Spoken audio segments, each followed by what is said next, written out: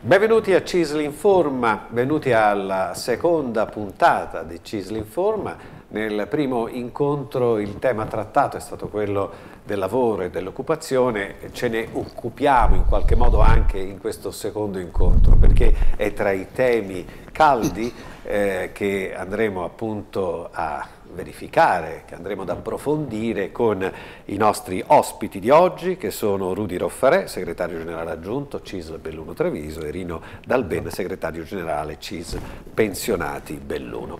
Perché parlo del lavoro, dell'occupazione, ma in generale della situazione del nostro Paese in questo momento? Perché c'è una legge di eh, bilancio, la manovra del governo 5 Stelle Lega che è naturalmente stata oggetto di attenzione eh, del sindacato, della CISL, eh, dei sindacati. Mi pare peraltro, eh, segretario, che su questo tema si sia ritrovata una sorta di unità fra le sigle sindacali. Benvenuti, sì, allora noi abbiamo già eh, presentato nelle settimane scorse una piattaforma unitaria CGL Cisle Will, siamo andati nei luoghi di lavoro, quindi abbiamo fatto le assemblee per presentare un po' le nostre idee, però mi si permetta, eh, noi diciamo questo, l'Italia è una repubblica fondata sul lavoro, certamente non sui condoni, sulla sicurezza o eh, su, sull'evasione in generale. Perché diciamo questo? Lo stiamo dicendo a questo governo, ma lo abbiamo detto anche nei precedenti governi. Noi abbiamo bisogno di costruire un progetto di paese. Quale visione abbiamo? Quale idea di democrazia? Quale idea di partecipazione? Quindi a noi ci pare che da qui dobbiamo partire. Nella piattaforma che abbiamo presentato a questo governo eh, stiamo proponendo delle, ehm, delle cose che abbiamo detto anche agli altri eh, governi. Noi dobbiamo assolutamente rimettere al centro il lavoro, a partire per esempio dagli investimenti. Noi siamo in un territorio eh, come quello di Belluno che ha bisogno di investimenti, penso alla ferrovia, penso alla 27. Se in questo paese ritorniamo a investire, creiamo occupazione ma diamo anche una spinta eh, produttiva e logistica fondamentale. Per esempio, noi abbiamo molte manifatture, pensiamo a cosa vuol dire l'industria 4.0, pensiamo a cosa vuol dire investire nella formazione, nella ricerca, nella scuola, sono elementi questi che mancano. Poi va da sé che c'è tutto il tema, per esempio, delle politiche attive, quindi noi diciamo che il reddito di cittadinanza eh, è un punto di partenza se veramente riusciamo a far partire quelle politiche del lavoro che diventano fondamentali anche nel nostro territorio nel momento in cui le persone perdono il posto di lavoro nelle aziende decotte, anche eh, qui a Belluno insomma, abbiamo avuto situazioni di questo tipo. Quindi diventa fondamentale eh, recuperare un confronto con questo dialogo, un, dire, un, anche perché le cose vengono fatte bene nel momento in cui riesci a gestirle con chi ogni giorno lavora a fianco dei lavoratori, dei disoccupati, di chi appunto vive la precarietà, di chi ha uno stipendio che non è sufficiente oggi a reggere quel, quel costo della vita che come tutti noi sappiamo, soprattutto nelle nostre zone peraltro di montagna, sono ancora maggiori maggiori rispetto al resto del territorio. Sì, si rivela dunque estremamente importante come riferimento il sindacato, ci deve essere una rivalutazione del ruolo di corpo intermedio che in qualche modo è anche eh, la cerniera tra la politica, tra il governo, tra le istituzioni e i lavoratori. E quindi è molto importante che vi sia una ripresa di valore proprio in sé del noi, ruolo del sindacato. Noi riteniamo, quando noi diciamo corpi intermedi, che è una parola che a me piace poco, significa che chi sta nella quotidianità, chi sta nel territorio capisce bene le misure che devono essere adottate. Prendiamo un esempio, la riforma sanitaria che viene portata avanti in questo momento è un bel libro dei sogni che però poi nella declinazione nel nostro territorio trova delle difficoltà e molto spesso sarebbe utile alla politica, noi facciamo riportiamo anche alla realtà territoriale, proprio alle cose concrete quotidiane, sentire chi appunto come noi, come le organizzazioni sindacali, in particolare la CISLA ma non solo, riesce a dare anche delle indicazioni sulle misure da adottare. Questo noi lo riteniamo fondamentale e devo dirlo che non lo stiamo facendo con questo governo, lo abbiamo fatto anche con i governi precedenti, ci tengo a sottolineare questo aspetto. Sì, ho usato questo termine che a lei non piace perché sono uno della vecchia guardia anch'io, certo. quindi utilizzo i termini della politica di un tempo. Veniamo alla presa di posizione dei pensionati della CISL. Eh, voi avete già detto, insomma, questa manovra proprio non ci piace, cioè avete, siete già scesi in piazza per protestare. Sì, eh, il giorno 28 di dicembre non abbiamo perso tempo in, questo, in questi momenti, siamo già scesi in piazza con 10 manifestazioni regionali, sostanzialmente pluriregionali, noi nel Veneto l'abbiamo fatta a Venezia per protestare rispetto alle misure che questa nuova manovra eh, mette in atto per i pensionati, quindi una decurtazione sostanzialmente delle pensioni e eh, soprattutto un non rispetto di quelli che sono stati gli accordi con il governo precedente di tre anni fa.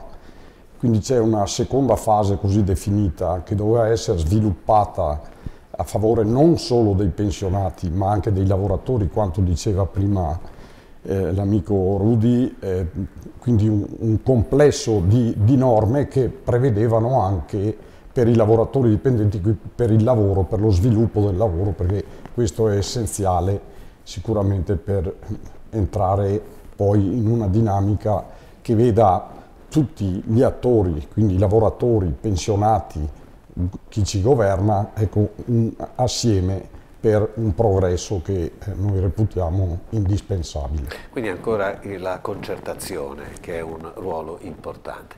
Eh, segretario, eh, lei intravede però insomma, nel complesso di questa manovra qualche elemento da salvare?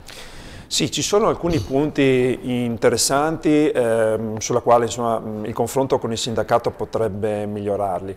Eh, se per esempio prendiamo la quota 100, eh, allora io sono eh, soddisfatto che eh, l'APE social sia stata mh, confermata anche nel 2019 perché era stato già fatto un buon lavoro eh, rispetto alla, ad anticipare le persone che andavano in pensione con per esempio i lavoratori gravosi. Eh, noi saremo perché a 41 anni di contributi la gente vada in pensione, però se ragioniamo su questo eh, lavoro intorno alla quota 100, secondo me ci sono delle cose interessanti. L'altra questione è la cosiddetta reddito di cittadinanza, ne abbiamo parlato tanto, alla fine è diventato il REI trasformato in reddito di cittadinanza, noi abbiamo un tema di povertà anche nel nostro territorio, qui la scommessa vera è quella di riuscire a far funzionare, come dicevamo prima, le politiche attive, i centri per l'impiego, cioè dare delle possibilità anche a quelle le persone che sono rimaste emarginate.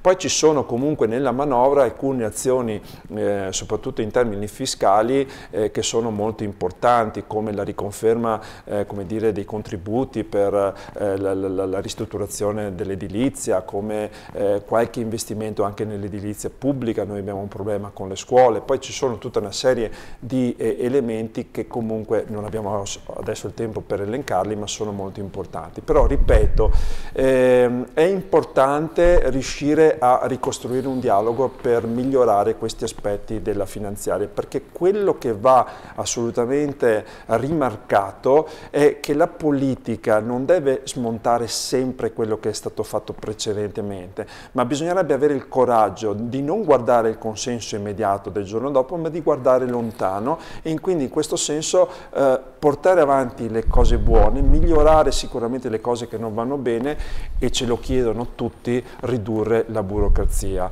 E anche qui c'è qualche timido segnale, ma dobbiamo rafforzare questa riduzione della burocrazia. Torniamo al eh, segretario generale CISL pensionati di Belluno Treviso, Rino Dalben. Eh, quali sono le vostre proposte di modifica?